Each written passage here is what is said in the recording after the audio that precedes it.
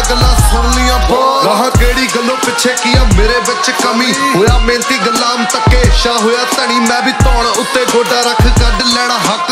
ਮੁੱਲ ਹਸਲ ਮੇਰੀ ਦਾ ਮੇਰੇ ਸਾਹਮਣੇ ਤੂੰ ਰੱਖ। ਲਿਖੇ ਕਾਗਜ਼ਾਂ ਤੇ ਬੋਲ ਦੇਖੀ ਕੈਸ਼ ਕਰਨੇ? ਹੱਥ 300 ਤੋਂ ਚੱਕ ਫੈਂਟ ਮਤੇ ਤਰਨੇ ਅੱਗ ਲਾਇਆ ਮੁੱਕੜਾ ਨਹੀਂ ਐਡਾ ਲਾ ਲੈਣਾ ਢੇਰ। ਜੱਟ ਮੰਜੇ ਦੇ ਪਾਵੇ ਨਾ ਰੱਖੂ, ਬੰਨ ਕੇ ਕੁਬੇਰ ਮੇਰੀ ਆਪਣੀ ਹੀ ਲੇਨ ਹੋਣੀ, ਗੇਮ ਹੋਣੀ, ਫੇਮ ਹੋਣੀ, ਚੁੱਪ ਹੋਣੀ ਲਾਊਡ ਰੋਲੀ ਬੈਰੀਆਂ ਦੀ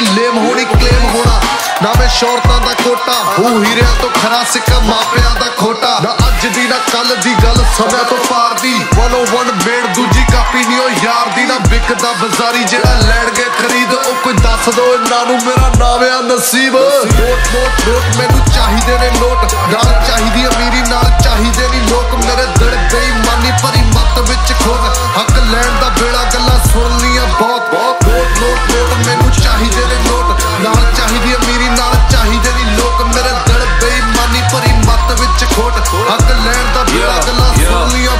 ਮੈਨੂੰ ਚਾਹੀਦੇ ਨੇ ਨੋਟ ਯਾਰੋ ਮੈਨੂੰ ਚਾਹੀਦੇ। ਕਦੇ ਗੱਲਾਂ ਦੇ ਪਹਾੜ ਅਸੀਂ ਨੇ ਬੜਾਈ ਦੇ ਨਾਲ ਰੱਬ ਨੂੰ ਬਿਠਾ ਕੇ ਯਾਰੋ ਅਸੀਂ ਵਾਹੀਦੇ। ਲੇਖ